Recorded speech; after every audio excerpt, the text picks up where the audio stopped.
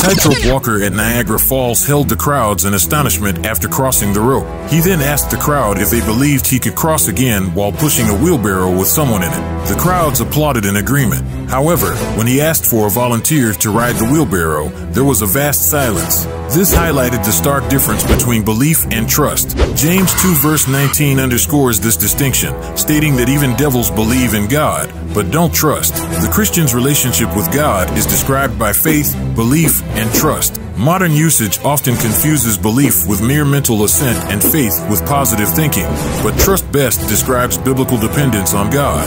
Faith is surrendering your life into God's control. Genuine faith lets go, depends completely, and is vulnerable. It requires stepping out into that which cannot be proved except by experience, sometimes referred to as the leap of faith. God can fulfill His purpose in our lives only when we surrender our will and trust in His saving power.